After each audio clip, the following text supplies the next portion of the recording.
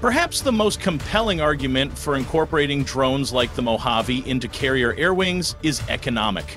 The F 35B Lightning II costs approximately $111.3 million per aircraft as of 2021, not accounting for inflation, and requires about $42,000 per flight hour to operate. Over a 4,000 hour operational lifespan, each F 35B represents a total investment of roughly $269 million.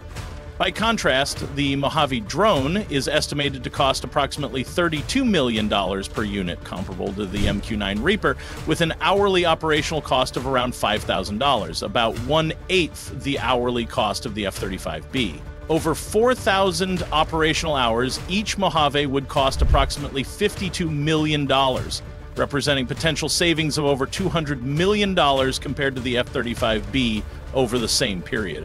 These economic realities are particularly significant in the context of tightening defense budgets across NATO countries. The United Kingdom, like many of its allies, faces difficult choices about how to allocate limited defense resources across competing priorities. By incorporating more affordable unmanned systems into its carrier air wings, the Royal Navy could potentially maintain a more robust carrier presence with existing budget constraints. Furthermore, the lower operational cost of drones enables more frequent and sustained training operations, potentially improving overall readiness and crew proficiency.